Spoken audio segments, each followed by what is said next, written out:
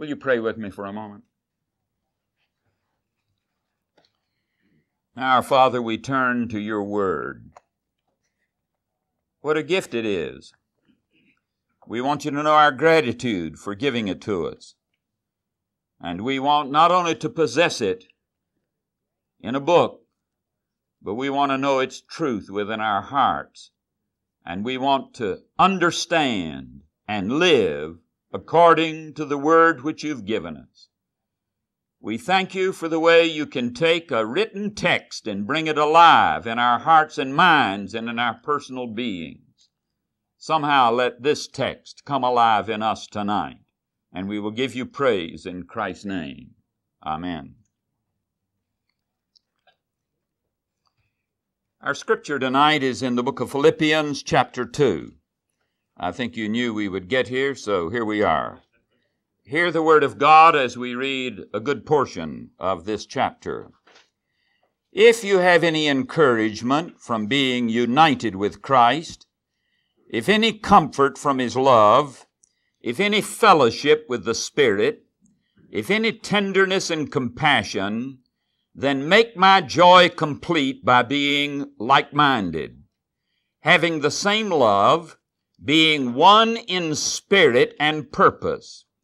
Do nothing out of selfish ambition or vain conceit, but in humility consider others better than yourselves.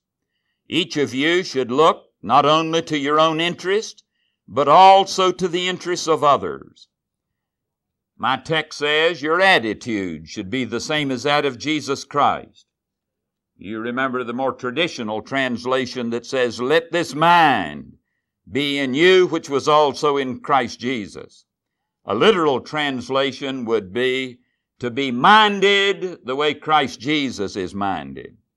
And it is the same verb as was used in the text we used last night from, uh, Mar- from Mark 8, where he says to Peter, Jesus said to Peter, Peter, you don't think the way God thinks, you think the way man thinks. Now he says, Let this mind be in you, which was also in Christ Jesus, who being in very nature God, did not consider equality with God something to be grasped, but made himself nothing, taking the very nature of a servant, being made in human likeness and being found in appearance as a man, he humbled himself and became obedient to death, even death on a cross. Therefore God exalted him to the highest place and gave him the name that is above every name, that at the name of Jesus every knee should bow in heaven and on earth and under the earth, and every tongue confess that Jesus Christ is Lord, to the glory of God the Father. Therefore, my dear friends, as you have always obeyed, not only in my presence, but now much more in my absence, continue to work out your salvation with fear and trembling. For it is God who works in you to will and to act according to his good purpose. Do everything without complaining or arguing, so that you may become blameless and pure, children of God without fault in a crooked and depraved generation, in which you shine like stars in the universe as you hold out the word of life, in order that I may boast on the day of Christ that I did not run or labor for nothing. But even if I am being poured out like a drink offering on the sacrifice and service coming from your faith, I am glad and rejoice with all of you. So you too should be glad and rejoice with me. I hope in the Lord Jesus to send Timothy to you soon, that I also may be cheered when I receive news about you. I have no one else like him who takes a genuine interest in your welfare. For everyone looks out for his own interest, not those of Jesus Christ. But you know that Timothy has proved himself because as a son with his father, he has served with me in the work of the gospel.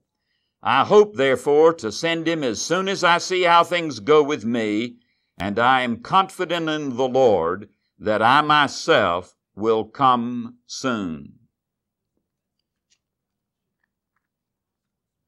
One of the things that I've noticed about me in my study of Scripture across the years is that uh, I have found that there are certain passages that come alive for me and they become very precious to me. Over a period of time, I learned that as I would reread Scripture and find myself moving toward those special passages, my mind would sort of run over the stuff that was in front of me in anticipation of what was coming. Sort of like you forget about the foothills when you see the mountains in the distance. And as the years passed, I began to find that uh, some of those, what I thought were foothills, were pretty good mountains in themselves. And I remember when I was in a pastorate, I decided to preach a series of ser- sermons on great texts before great texts. And then I decided to preach a second series on great texts after great texts. Because you will remember that John 3.15 is a great text. Also John 3.17 and Galatians 2:19 and Galatians 2:21. Now, because of that, for a long time, the book of Philippians never quite opened up to me. Because when I would get through the early part of it, I knew what was coming in Philippians 2, 5 to 11. This incredible passage on the incarnation, this incredible passage on Christ, his emptying himself and becoming one of us. And so I didn't pay too much attention to what Paul said before that. Then one day as I was working my way through it, it dawned on me that Paul didn't write Philippians in order to give us 2, 5 to 11, because that hymn to Christ is in a sense an illustration. It is not the sermon. And you know, on occasion I've had people come to me when I had preached what I thought was, hoped was a worthwhile sermon, and they'd say, that was interesting. Will you tell me again that story you told? And I knew that was all they remembered was the illustration. And I had one guy come to me, a professor at Asbury Seminary, and said, what'd you tell that story for? What was the purpose? So I knew I had missed it. But in Philippians, that hymn is the illustration and there is a sermon connected with it. Now, I want to talk about why he put that in there, what goes before it, and what goes after it. Because it is in what goes before it and what goes after it that I find out what it means for me to have the mind of Christ, while in 5 to 11 I find out what it meant for Christ to have the mind of Christ. And those are two different things. Now, you know that the Philippian letter is a very tender letter. It was written by Paul to the church that he probably loved the most of any of the churches that he ever served. You will remember the story in uh, Acts how he uh, was turning eastward and the Spirit checked him and said, No, I don't want you to go east. And because of that, you and I have received the gospel, and much of the East only now is having the gospel opened up to them.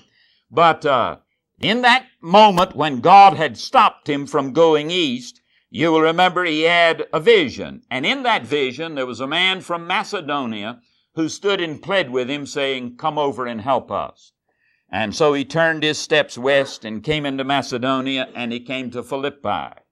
And when he got there, he looked around for someone with whom to worship. You know enough to know that Paul looked when he did that for people who use the Old Testament as their frame of reference. And he found, interestingly enough, a group of ladies, a ladies' prayer meeting. And they met down on the river bank, and when he got there, the leader among them was a woman named Lydia. And as he began to preach Christ to those ladies, they knew enough to know that what they were hearing was the fulfillment of the Old Testament which they believed. And so Lydia said, Will you baptize me and my house? And when he baptized them, she said, Now I want you to go home with me. And she opened her home, and he was the guest in Lydia's home. You will remember before it was over with, they had a riot. Paul and Silas ended up in jail. They were mercilessly flogged and put into stocks. And you will remember in the middle of the night, an angel came And uh, you remember the Philippian jailer, an earthquake, and the Philippian jailer was converted. But then before it was over with, you will remember the authorities were pleading with them to leave the city. Now, there's no way that could be wiped out of Paul's mind. Now, many years later, Paul's in prison again, except this time he's in prison in Rome, and he's in chains. And he's thinking about when this happened to him before, and he has very tender thoughts about the Christians in Philippi who had loved him, and over the years since had regularly been his supporters, sending contributions to him to help him. And so he writes, and you sense the tenderness. He says, Every mem- memory that I have of you brings me joy, and I thank God on every remembrance for you. But then he says, I've got something I want to say to you. And so he says, uh, he begins in the second chapter to give the heart of what he wants to say to these Philippian Christians. He has said, uh, Where I am, God has been very good, and I can rejoice in my chains and in my imprisonment, because through this the Word of God is being given even to the palace guard. And you find Paul rejoicing in the privilege of being in chains in a Roman prison. And now he says, But what about you? He says, If you have any encouragement from being united with Christ, if there's any encouragement comes to you because you know Christ, if there is any comfort that comes to you from His love, if there is any fellowship with His Spirit, if there is any tenderness and compassion, then I want to tell you what will make my joy totally complete. And now he deals with what his concern is. He says, if you want to make my joy totally complete, I want you to have the same mind. Now this translation says like-minded. Now immediately you know that what he's dealing with is the fact that he's heard there's division among these dear, dear friends of his incarnate. And the body of Christ is not supposed to be divided. So he says, Let me tell you what my prayer for you is that you will have the same mind. And the word which is used there is the word that it is the Greek, same Greek root as is used in let this mind be in you which was also in Christ Jesus. Now let me say at this point, the word phroneo, either singly or in combination, occurs only 30 times in the New Testament. And it occurs 10 times in the book of Philippians. Which lets you know that what Paul is thinking about is the mind and the mind of Christ. And he wants these dear brother believers, sister believers to know the mind of Christ, to have it. So he says, I want you to have the same mind. And I want you to have the same love. And the word love is the Greek word agape. He says, I want you to be one in spirit. And there Paul makes a word. He creates a Greek word. He takes the preposition sum, which means together with, and adds the word suke, soul, psyche, to it. And he says, I want you to be, uh, the translation which is given here, one in spirit. And he says, goes again, and he says, this time, I'm not interested just in your having the same mind. He uses the word for mind again, and he says, I want you to have one mind. Now, the will of Paul for he, these believer, friends of his, beloved ones, is that they have one mind. So now he says, I've told you the positive, and that's always nice. But you know, it's the negative that lets you know where the trouble is, does, isn't it? So now he goes negative and he says, do nothing out of selfish ambition or vain conceit, but in humility consider others better than yourselves. Now, obviously, he is putting his finger to a problem in Philippi that he feels needs to be addressed. And whatever he means by selfish ambition, he doesn't want them doing it. And I would assume he's heard something to make them, make him think that somebody is. And whatever he means by vain conceit, he's heard there's some who might be moving in that direction and he doesn't want it there. But he says, instead of that in humility, consider others better than yourselves. In fact, he says, each of you should look not to your own interests, but even to the interests of others. You should be other oriented. Now let me illustrate what I mean.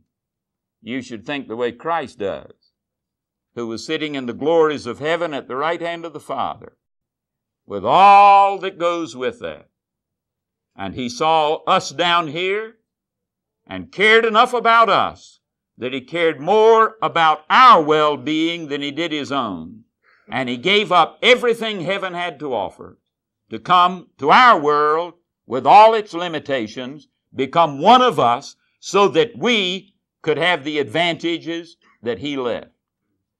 Now he says, if you look at verse 14, he continues it. Do everything without complaining.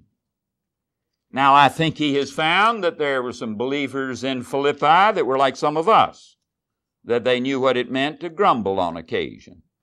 I heard somebody say that that's our favorite indoor sport, except when we're out of doors.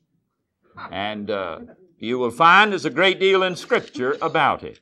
But he says, I don't want you grumbling or complaining. And I don't want you arguing. Now, uh, we don't have, I, I'm going to have to, we don't have time to go in great detail through it, but let me tell you what I have become convinced. I'm convinced now that Paul says there are four characteristics of the person who has the mind of Christ. And two of them are given before the hymn, and two of them are given afterwards. And the first two are, I don't want you doing anything out of selfish ambition or vain conceit. And he said, I don't want you doing anything. I don't want you complaining, and I don't want you arguing. Now, when I got that far in my dealing with this, I thought, well, that lets me off the hook because I was using this translation. And do you know when he says, do nothing out of selfish ambition, when you're as old as I, that doesn't have anything to do with you. Because you see, when you get to my stage of the game, you're in this part of the arc of life. You're not in this part of the arc. And you and I think of ambition when you're in this part of the arc and you still are moving, you see. So I thought, good, I'm clean on that. But unfortunately, I picked up a Greek New Testament and read it. And do you know the word has nothing to do with ambition? But do you know what it does have to do with? It has to do with self interest. In fact, it's a very interesting word. It's the word originally had no negative connotation about it. It had to do with a laborer working for wages. That's a legitimate thing biblically. Nothing wrong with that. But then in Greek literature, it developed the connotation of getting more interested in the wages than you were in the work. So you were doing it for what you could get out of it. One of the next steps, which you find in Aristotle's Politics, is where a politician bribes or is willing to accept a bribe. Then it is used for a harlot who wants to seduce a man for what she can get. So slowly it developed the connotation of what's in self interest, what can I get out of this? And as I thought of that, uh, you know, age doesn't have anything to do with self interest. Because you can be as old as Methuselah and be selfish. And that's what we're talking about in the passage, not just ambition for the people on the rise. So I thought, now how can I boil that down to where I understand what it, what it really means and how it means to, what it should mean to me? And I think of it this way. So let me put it this way. What he is saying is, I do not want the mental attitude that says, looks at any situation and says, What's in it for me? To be the thing that determines your attitude or your conduct. And you know, age doesn't deliver you from that. So that's the first mark of the mind of Christ, as far as I can see in this Philippians passage. If you're going to have the mind of Christ, you're not going to look at a new situation or even an old situation with the attitude of, what can I get out of it? What's in it for me? Now, uh, that was certainly true of Christ. What motivated him was not what he could get for himself out of it. What motivated him was our need. Now, uh, you will notice that that fits the context here because Paul says, I don't want you to do anything out of that, self-interest. I want you to, con- in humility, to consider others better than yourselves. And each of you should look not to your own interests, but you should look to the interests of others. So what we're talking about is other orientedness, isn't it? Where the need of the other determines how you are going to respond, not your need. Now that's the first mark. That brought it a little closer to home. Now the second thing, which in this translation says, do nothing out of vain conceit. And my first reaction was, that's no problem for me. Because when you're as old as I am and you've been beaten down as many times as I have, the conceit's fairly well uh, knocked out of you a bit. Uh, so I unfortunately read the Greek text. And do you know what you have in the Greek? It is the word kenodoxia, which is made up of two elements. The kenos part has to do with emptiness. You know, just nothing there. And the doxia part has to do with appearances or show. So he says, don't do anything because of empty appearances. And as I wrestled with that, I began finding myself saying, what does that mean? I think that means that you don't do anything with the motivation that what mo- or with the attitude in you that moves you where what the thing that determines what you do is when you raise that inner question how am i going to look if i do this?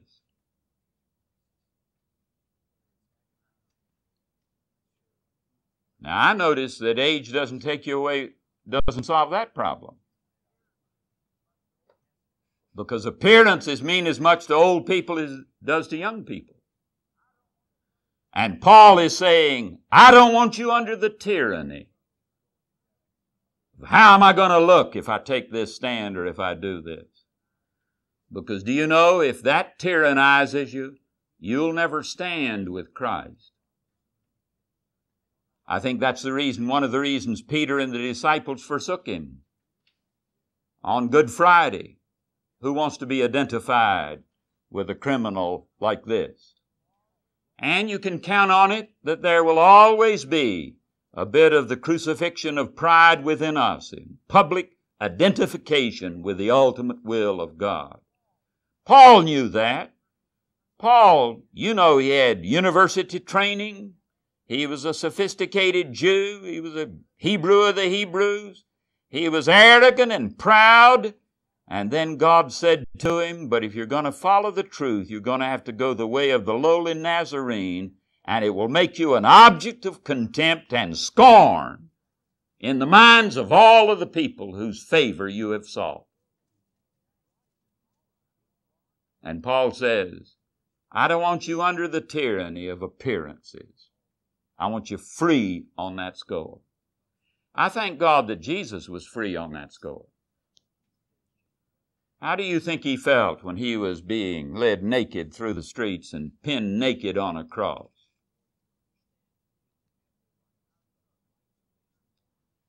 But how he looked didn't determine what he did.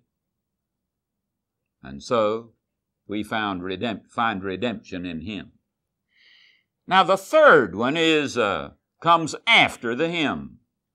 And that's where he says, don't do anything through grumbling, complaining. Now that's, uh, I didn't have to read the Greek text to understand what that meant. Because it's very clear.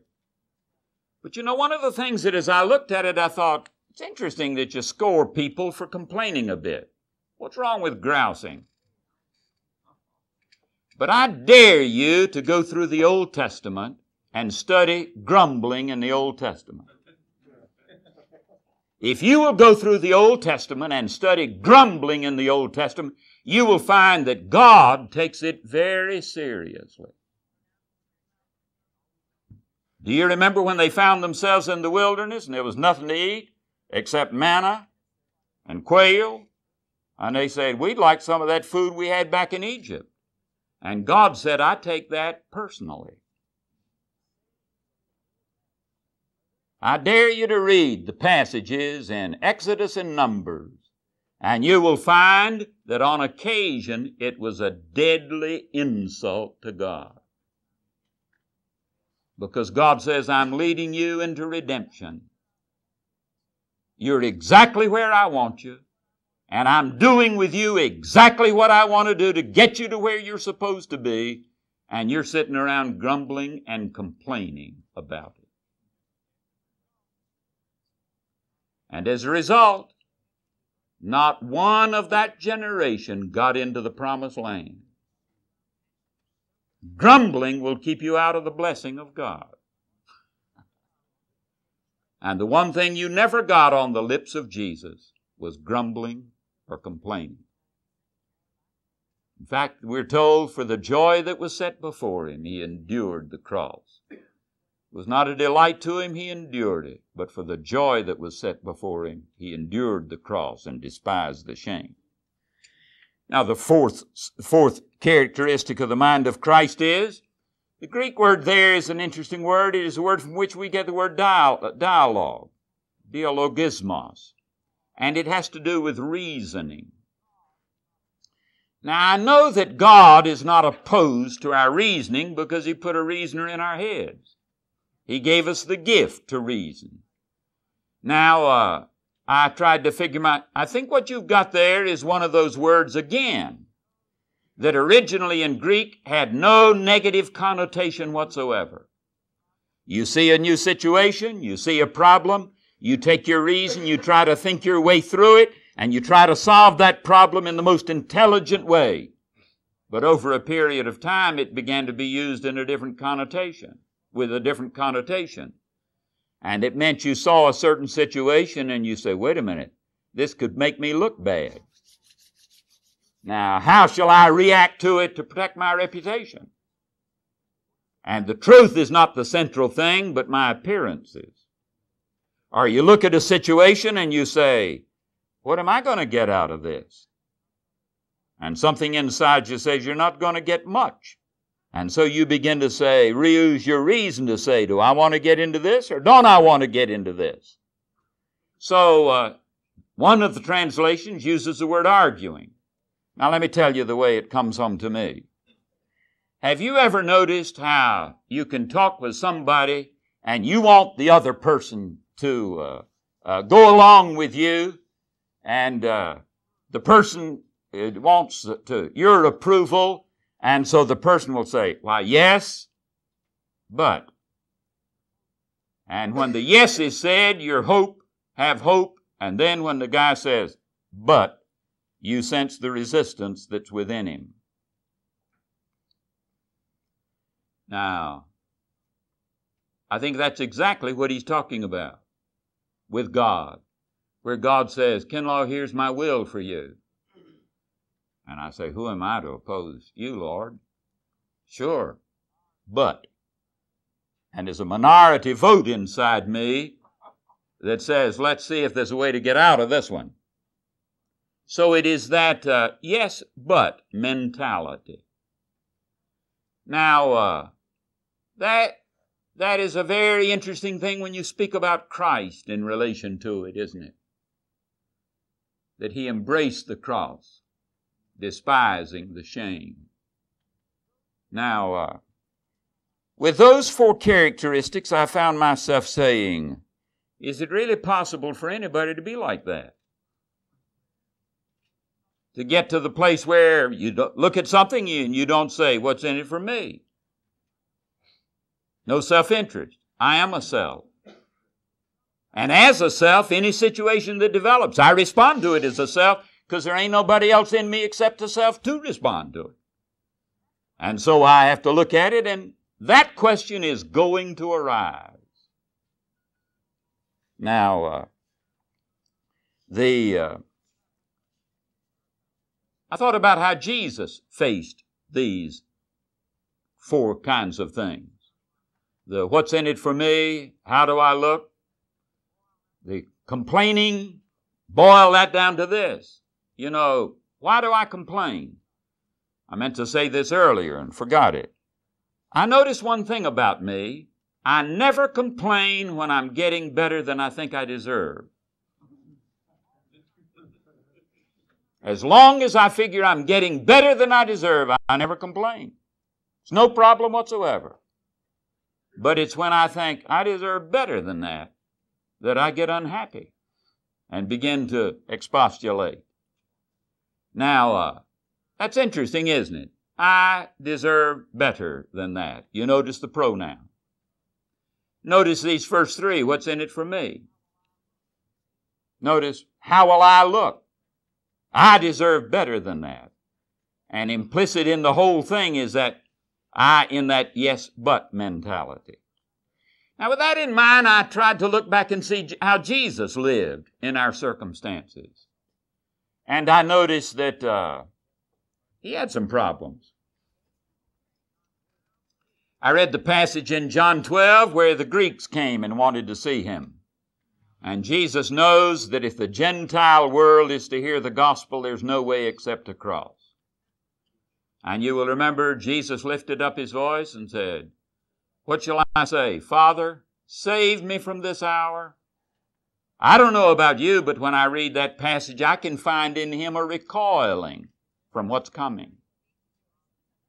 But then he says, But Father, for this purpose came I to this hour.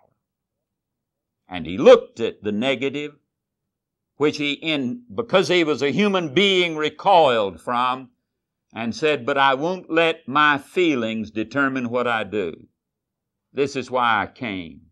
And though I don't want it, and everything within me cries out against it, I will embrace the cross. Now, uh, I noticed I'm grateful for what the stories we have of Thursday night and Gethsemane. Now Jesus is a few hours from the cross, and he goes to talk to his father about it. And you know, uh, you remember he came back and he hadn't settled it. So he went back and prayed again. And when he came back after the second time, he hadn't settled it. And so he went back and prayed the third time. But when he prayed the third time, it was settled when he came back. I'll, I appreciate that. That the eternal Son of God didn't want God's, the Father's will for him. And he found within himself stuff that recoiled against it. But it wasn't the recoiling that determined what he did. He faced all of the trauma of it, all the negative, and then, in spite of the horror of it, put his arms around it and said, Father, not my will, but yours be done. There is no mechanical automaton kind of obedience here. And I want to say, if Jesus didn't have grace to glibly and casually do all the will of God instantly and without thought, I don't believe there's grace for you to keep you from some Gethsemanes. So Paul is not saying, I don't want you to be where you never have a Gethsemane. I just don't want your Gethsemane to stop you from doing the will of the Father.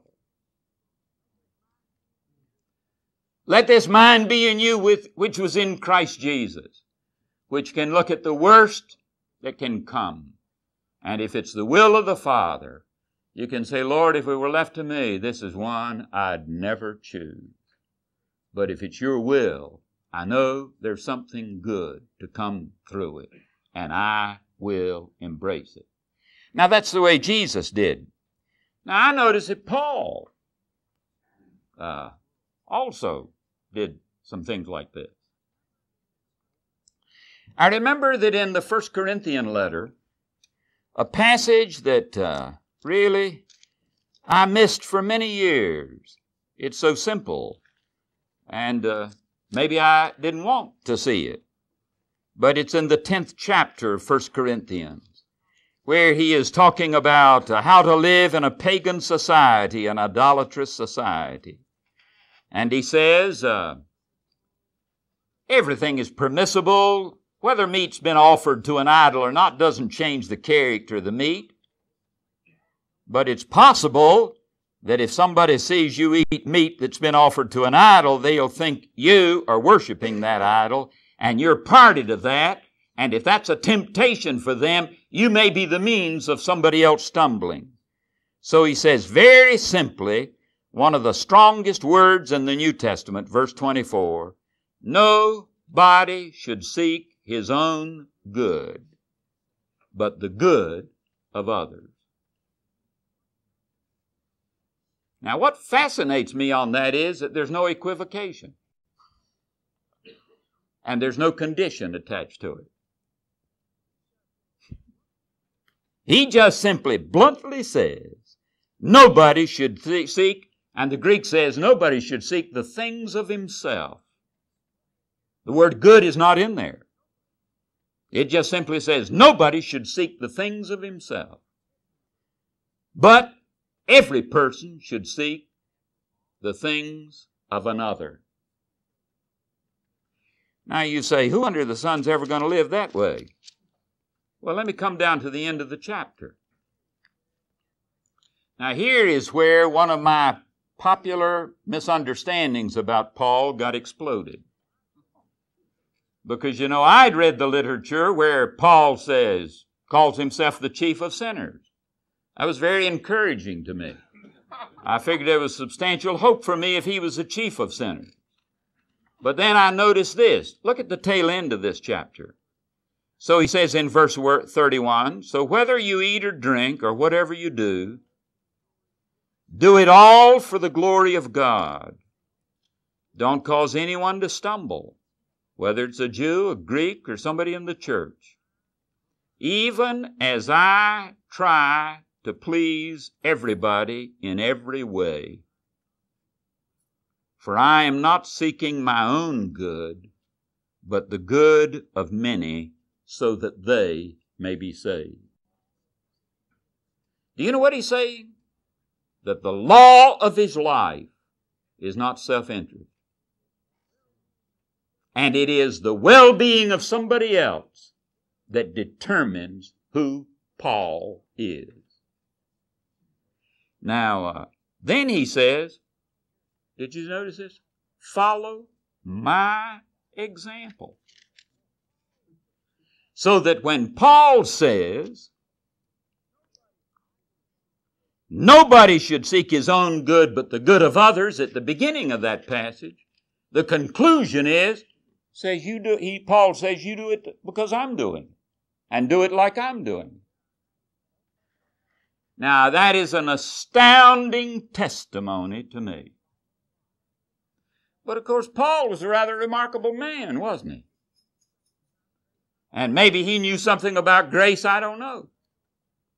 But before I go to that, let me tell you that the very thought of what Paul is proposing is very difficult for Christians to accept.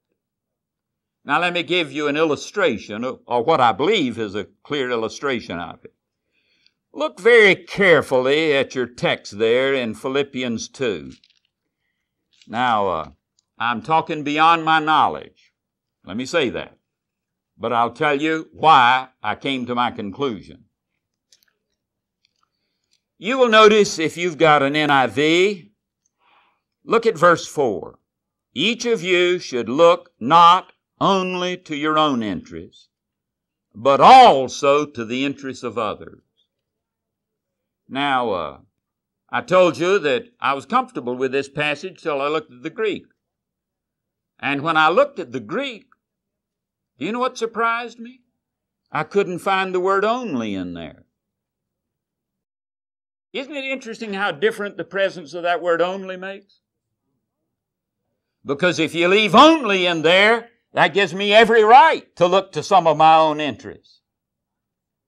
So when I looked at the translation in English and then looked at the Greek, what you've got in the second section is the word uh, kai. And uh, I uh, began debating with that because the only isn't there. So I thought, could it really mean each of you should look not to his own interests, but even to the interests of others? Because Kai can be translated both also and even. Now you got a mess of a time knowing how to prove that it should be one or the other. So I thought, Kinlaw, you don't know enough about that, this. So I went to our classical Greek professor at the college. And I said, Now I want you to translate, and I pulled that verse out just by itself. And made him translate it, and he translated it without the only in there. So then I went to Dr. Robert Mulholland, who's the provost here at the seminary, and he's got a good Harvard PhD in New Testament.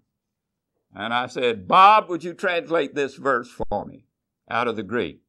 And he translated it without the only. Now you hear the difference.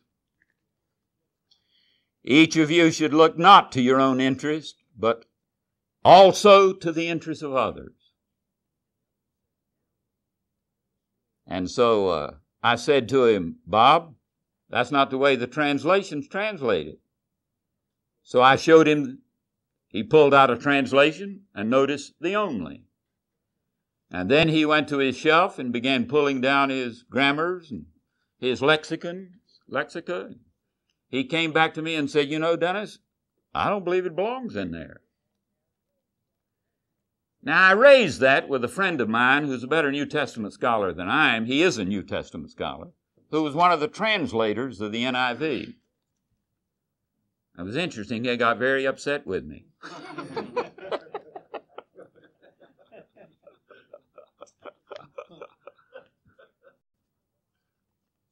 Do you know it's hard to translate the Bible honestly?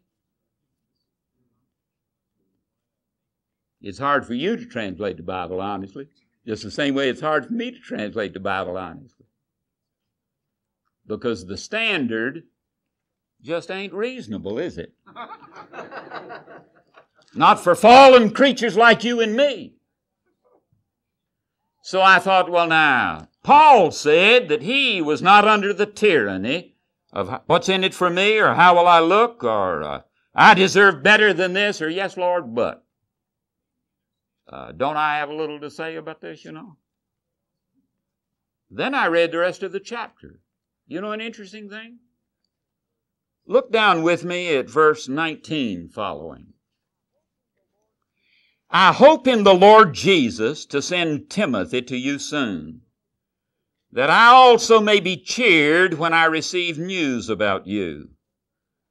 I don't have anybody else like him who takes such an interest in your welfare, for everybody else looks out for his own interests, not those of Jesus Christ. But you know Timothy, he has proved himself as a son with his father, he served with me in the work of the gospel. I thought, for heaven's sake. Paul got there, and Paul lived with Timothy, and Paul said Timothy had gotten there, where the law of his life was not self interest, but whatever was the will of Christ and the well being of others. And I thought, well, wonder how they got there. Timothy's not that exceptional. And then I read verses 12 and 13. Therefore, my dear friends, as you've always obeyed, not only in my presence, but now much more in my absence, continue to work out your salvation with fear and trembling. For it is God who works in you to will and to act according to his good purpose.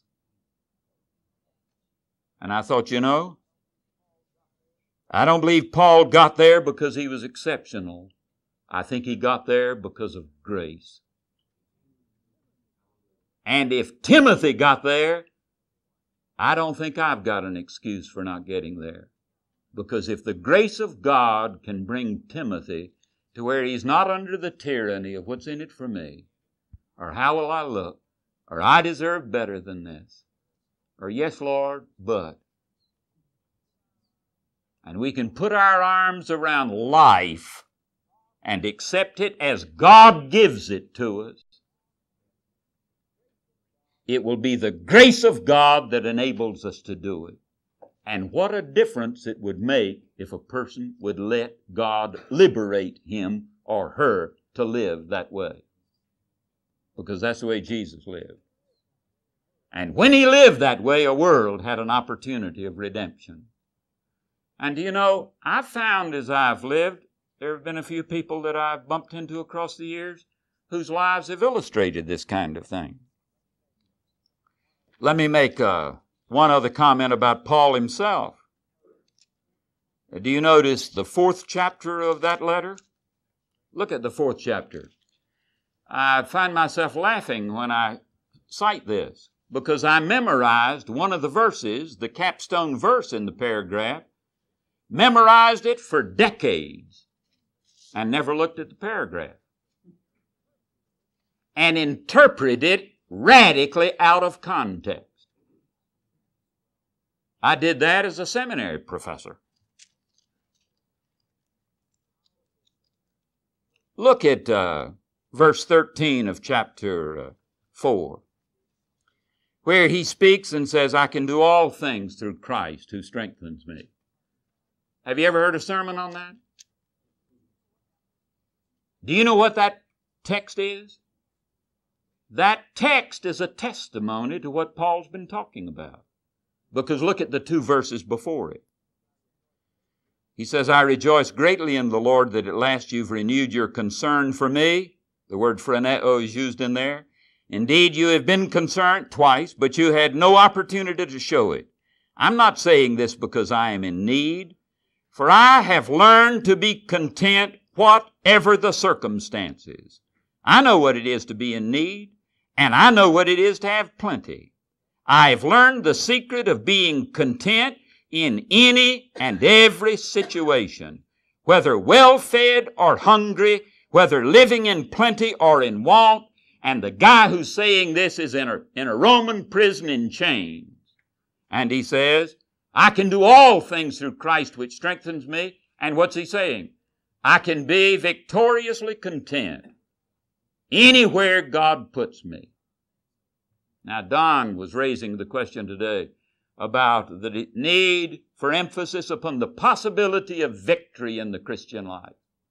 And that is exactly what Paul is witnessing to.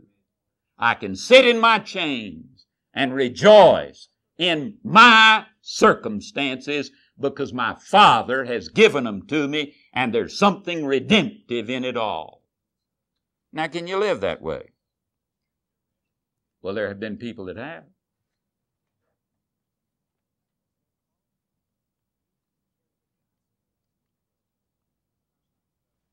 I found myself uh, looking for illustrations. We had Helen Roseveare at Asbury two or three times, 10 or 15 years ago. You remember Cambridge graduate, medical doctor, spent her life in Africa giving it for Africans. And then one day there was an uprising, and they came in and they brutalized her and they raped her multiple. And she came through. and came through victorious. She said, I was home on furlough, trying to put my life back together before going back. And she said, I was at uh, one of the universities, and she said, I was speaking. And she said, uh, University crowd, two girls, one of which I knew was far too young to be a university student.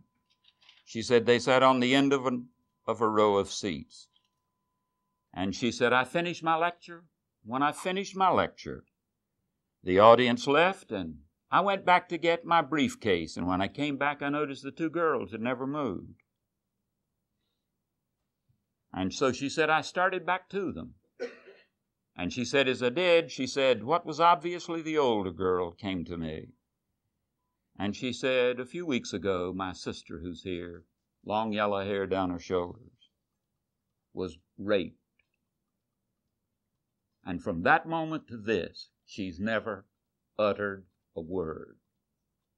She is in total shock. Could you talk to her? Helen Roseveare said, I turned. And you know, all of the horror of that experience must have flooded her again. But the memory of the presence of Jesus and as she started for the girl, the girl bounded out of her seat. And when she got to Helen, she didn't embrace her, she collided with her. And Helen said, The two of us fell on our bottoms on the floor, wrapped in each other's arms. And she said, We wept for the better part of an hour.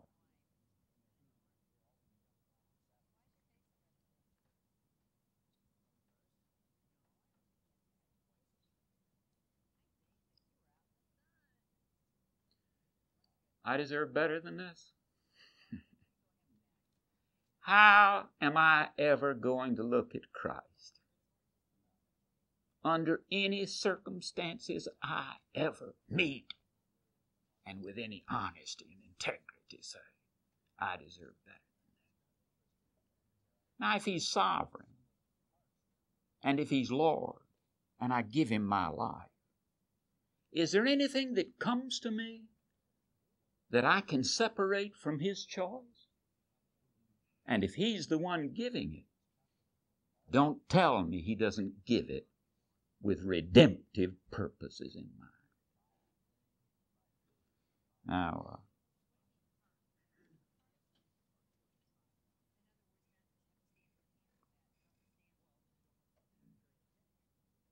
I've come to believe that there is grace that can enable a person to live.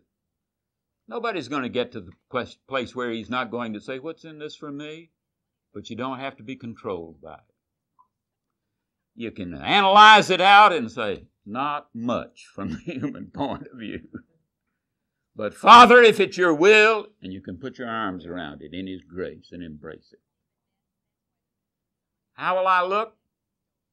I don't like to look like a fool any more than anybody else. So you'll recoil from it. But you say, Father, if it's your will, I can put my arms around it because I won't have to go through it alone.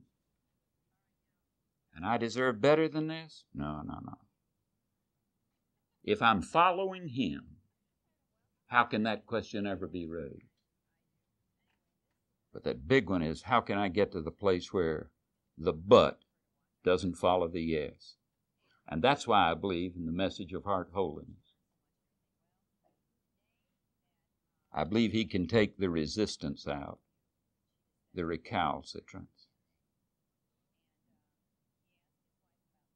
Where you look at all the negatives, and when you've looked at them, you say, That's all right, Lord.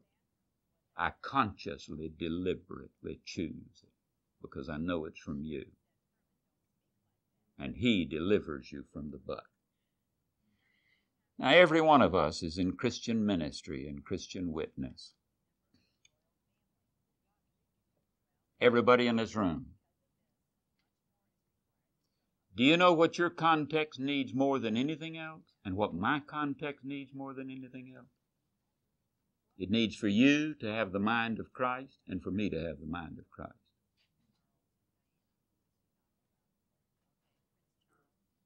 Because if we don't, when we get in the middle of it, our witness won't be the same as his. And there'll be two witnesses instead of one. But if we let him bring us to the place where his will has become ours and his mind controls ours, then we will find that any witness we have is identical with his, and a world can see who Jesus Christ really is. Now that's the message for tonight. I don't know who you are and I don't know where you are. But it may be that uh, God has been getting. One of the things I know is that I'm never ahead of Him. None of us are ever ahead of Him. We're never first with anybody else. And if it was His will that this be preached, He's been getting you ready for this just as much as He's been getting me ready for it. And it may be that God has brought you to the place where you see how this applies to your circumstances and to who you are and who He wants you to be. And you're beginning to entertain the thought can it be possible that I put my arms around His will for me and embrace it? If I do that, He's going to have to do something in my heart to enable me to embrace it. If you ask Him, and ask Him sincerely, He can do it. He can do it. And what you will find is that when you have asked Him and He has helped you to embrace what you don't want, you will find that He can take you victoriously through it.